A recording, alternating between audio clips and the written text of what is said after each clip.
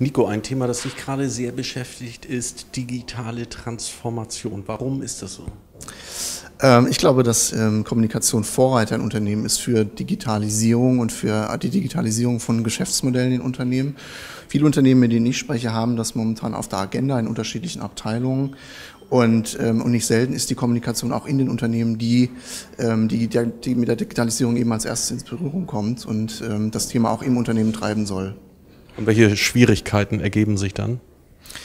Schwierigkeiten ist eben, dass das Thema eine große Fallhöhe braucht. Also es muss direkt beim Vorstand aufgehängt sein und ähm, es gibt eben diese Herausforderung, wie positioniere ich mein Unternehmen ähm, dort, wo Digitalisierung momentan am meisten stattfindet, also vielleicht auch im Startup-Bereich.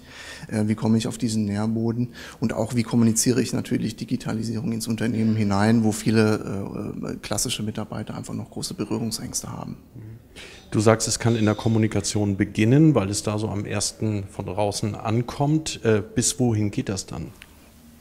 Ich glaube, alle Bereiche sind äh, mit der, mit der Digitalisierung beschäftigt. Ähm, am Ende hängt es davon ab, wie, ähm, wie Innovation im Unternehmen strukturiert ist. Ähm, Innovation geht über alle Bereiche hinweg und die Kommunikation kann da eine Vorreiterposition übernehmen. Haben das denn auch schon alle Kommunikatoren und auch Agenturen erkannt? Glaube ich nicht. Also ich, glaube, äh, digitale Transformation kann ähm, ein großes Geschäftsfeld auch für Kommunikationsagenturen sein, wenn sie das für sich selber schon erkannt haben und wenn sie es eben schaffen, äh, im Unternehmen und bei ihren Kunden die richtige Fallhöhe zu bekommen.